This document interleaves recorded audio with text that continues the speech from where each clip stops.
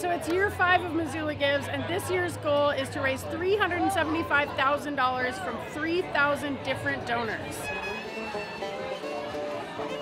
And the past four years, we've raised over $952,000 for over 160 local nonprofits.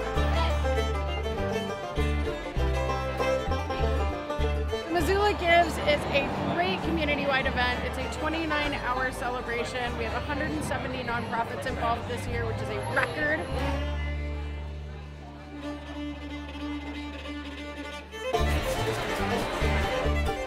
People are giving out of their pockets up the wazoo. Thank you. Thank you so much. Thank you very much. Five dollars. All right.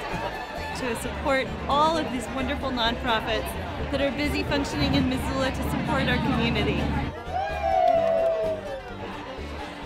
Wonderful day. Just so much bustling activity. What we're trying to do here is strengthen our local nonprofit sector and inspire local philanthropy. So let's all get together and make sure that we support one another. Anybody can make a donation at missoulagives.org, but a lot of people want to come down and celebrate with us because there's a lot of great momentum and excitement behind this. All the nonprofits come, they bring their board, their staff, their volunteers, and really celebrate the nonprofit community that we live in. I love the Missoula community for having stuff like this and coming together and supporting all the really wonderful nonprofits that Missoula has to offer.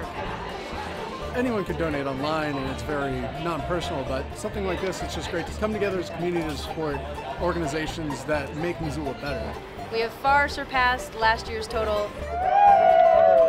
It shows what a community can do together. We are closing in on our $375,000 goal. Missoula is full of good people who want to do good, and this day is proof of that.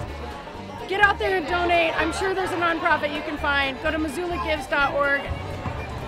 It's really inspiring, and it totally it reminds me of why why I live in Missoula and why I love this place so much.